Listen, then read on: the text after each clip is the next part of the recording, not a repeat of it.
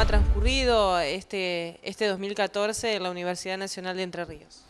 Bueno, creo que para nosotros, por lo menos desde el punto de vista de, la gestión, ha sido un año muy positivo en el sentido de que hemos alcanzado algunas metas de crecimiento que nos habíamos estipulado, sobre todo en un crecimiento en el área académica, en el área de extensión, en el área de investigación de la universidad. En cuanto a, la infraestructura, un poco este, se están culminando algunas obras. Me gustaría que, nos cuente un poquito eh, en las distintas sedes académicas eh, qué es lo que, lo que está aconteciendo.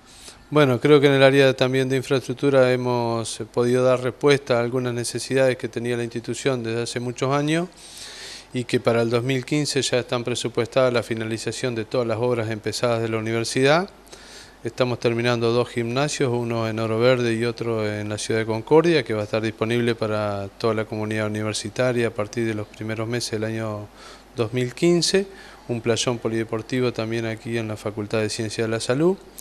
Tenemos obras de complementación de aulas y laboratorio en la Facultad de Ciencias de la Alimentación, la culminación de la biblioteca de la Facultad de Ciencias de la Administración, comedor universitario en, Concepción del Uruguay y la construcción de aulas y despachos para la nueva carrera de medicina. En Oro Verde la finalización del aula magna de la, de la facultad, una obra largamente esperada por esa facultad, lo mismo que la culminación del centro de medios. En la Facultad de Ciencia Económica la terminación de la biblioteca y, y la fachada, remodelación de la fachada principal de la facultad. Esperamos el traslado para, también para los primeros meses del año que viene de la Facultad de Trabajo Social a su nuevo edificio, una obra muy importante del orden de 20 millones de pesos y que nos va a permitir construir el comedor universitario en sede propia en el lugar donde hoy funciona dicha facultad. Y en Gualeguaychú estamos eh, ya terminando los detalles del llamado a licitación y firma el contrato correspondiente con el Ministerio de Planificación de Nación del nuevo edificio de la Facultad de Bromatología en un predio que ha sido donado por el municipio de Gualeguaychú. Otra de, las líneas de trabajo que, ha crecido también notablemente es lo que tiene que ver con, el sistema eh, de proyectos de extensión, ¿verdad? Bueno, el área de extensión ha sido un área que nosotros venimos poniendo un énfasis especial en dos aspectos fundamentales. Uno es en ampliar las convocatorias a, distintos temas que estén vinculados con socios de la sociedad eh, entrerriana en términos de organizaciones sociales, organizaciones empresariales o instituciones públicas y también una mayor participación de nuestros estudiantes en, dichos proyectos. Ahí tenemos una innovación importante en el cual hemos hecho una convocatoria de proyecto de atención dirigido por estudiantes avanzados. Creo que es, un, es única en nuestra universidad en ese sentido y también en, en otras convocatorias que tienen que ver con la curricularización de la extensión. Eh, es decir, el reconocimiento académico de esa actividad dentro de los planes de estudios. También el área de comunicación eh, ha tenido un, crecimiento, bueno, viene fortaleciéndose hace, hace ya algunos años, pero bueno, hay algunas novedades, me gustaría que nos cuente un poquito sobre eso. Bueno, sí, en el área de lo que es comunicación tenemos varias cuestiones importantes que señalar. La, más importante creo que es que el próximo año podamos ya emitir desde nuestro canal de televisión, el canal universitario, que tendrá que tener un contenido acorde a su fin y también este, el crecimiento de las radios. El crecimiento de las radios universitarias es un crecimiento paulatino, pero hemos podido fortalecernos ahora con recursos humanos, con programas de capacitación. Lo mismo puedo señalar en la editorial de la universidad, que también va a tener un programa de capacitación muy importante. Ya estamos este, produciendo los primeros ebooks, que es una novedad para nuestra, nuestra editorial y un fuerte crecimiento en la imprenta de la universidad, donde hay una inversión muy importante en tema tecnológico que nos va a permitir a nosotros poder producir materiales acordes a la necesidad de la universidad y también brindar servicios a terceros. Eh, sumado eso al diario digital y a las otras actividades relacionadas con la Secretaría de Extensión, los programas de televisión que ya tenemos y, y otros que se suman de las distintas unidades académicas, creo que podemos hablar ya de un multimedio de la UNER. Así es. Con respecto, creo que nos queda otra de las líneas fundamentales de la universidad eh, con respecto a la investigación. Eh, este vínculo con, con, el CONICET, me gustaría que nos cuente un poquito sobre lo de CITER y demás.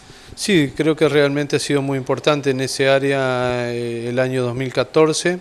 Estamos radicando 10 investigadores que provienen de otras universidades del país y del exterior en nuestra universidad en distintos programas y proyectos.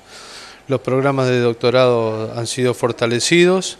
Tenemos nuevos programas aprobados por el Consejo Superior en términos de carrera de especialización y de maestría que todos contribuyen a formar recursos humanos, que es eh, la esencia de la investigación. O sea, no podríamos realizar investigación sin los recursos humanos. Así que es un proceso que tiene su tiempo, que no, no se hace por decreto, sino que forma parte de una política a mediano y largo plazo, pero tenemos hoy muchos jóvenes terminando doctorados en nuestra universidad y en otras universidades, así que creo que es promisorio para nuestra universidad eh, el futuro. Eh, a eso debemos sumar el fuerte apoyo que tenemos del Gobierno Nacional y el Ministerio de Ciencia y Tecnología en términos de equipamiento y de incorporación de, infraestructura tecnológica imprescindible para estos procesos. Eh, con respecto a los estudiantes, lo, que más nos interesa a nosotros es tener una mayor oferta académica, mayores este, posibilidades para ellos, para que puedan elegir las carreras que puedan cursar en nuestra provincia, en nuestra universidad. Es un trabajo permanente, eh, se ha crecido fuertemente también en facilitar el acceso a los estudiantes a través de sistemas de becas, tutorías y, otras acciones que se hacen desde las facultades. Eh, tenemos nuevas carreras eh, que se están dictando por corte y tenemos nuevos asentamientos en ciudades donde no teníamos, como en San José y en San Salvador, que se van a dictar carreras este, en el año 2015.